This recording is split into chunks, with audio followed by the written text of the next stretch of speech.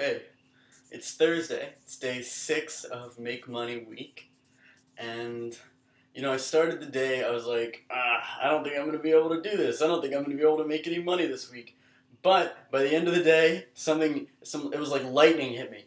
And I, I went on the tutor website and just started doing people's homework like crazy. And I ended up passing my quota for today, making about $28 of the 27 I was supposed to make and now I'm actually in the mid 70s in terms of making money, and I've got about $26 to make tomorrow. But I learned an important lesson.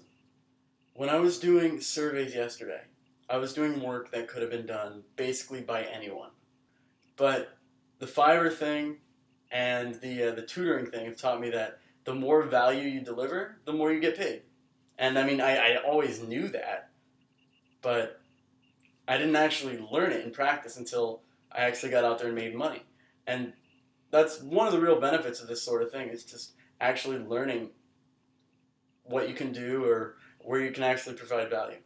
So it was really cool to uh, to do people's homework and just take knowledge out of my head and just put it on their papers and just get paid for that. The tutoring stuff, it's, it's really great.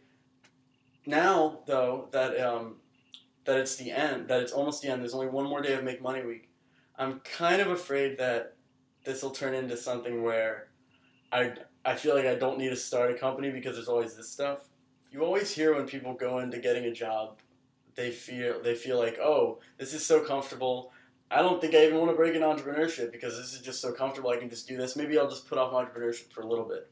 And before I, I would have looked at those guys and I would have been like, yeah, yeah, go for it you just put off that entrepreneurship. You're so good at what you do. Just keep going with your job. But now I kind of see where they're coming from. I don't agree with them, and I, I still really want to be an entrepreneur more than anything.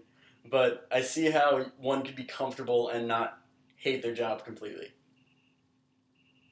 I hope you're doing as well as I'm doing. Um, send me your comments, questions, anything, alex at followingtherules.com, or put a comment below or put a comment on my blog and we will have a good time tonight. All right, I'll catch you later.